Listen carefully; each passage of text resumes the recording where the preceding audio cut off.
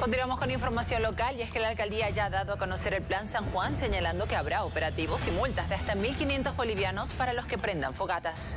ha reducido en un 85% las fogatas, ya que después de tener más de mil fogatas en una misma noche encendidas, que incluso causaban algunos incendios, el año pasado hemos llegado a 168. Indicar a la ciudadanía que las multas siguen siendo las mismas, están establecidas en la ordenanza municipal 48-2001, es de 500 bolivianos para las actividades domiciliarias, 700 bolivianos para las actividades comerciales y 1.500 bolivianos para las actividades industriales. Tenemos más personal distribuido en los distritos donde hay mayor incidencia de fogatas, que son el distrito 6, 7, 8, 9 y 12, especialmente en el Plan 3000, en la Villa Primero de Mayo y en la Pampa de la Isla.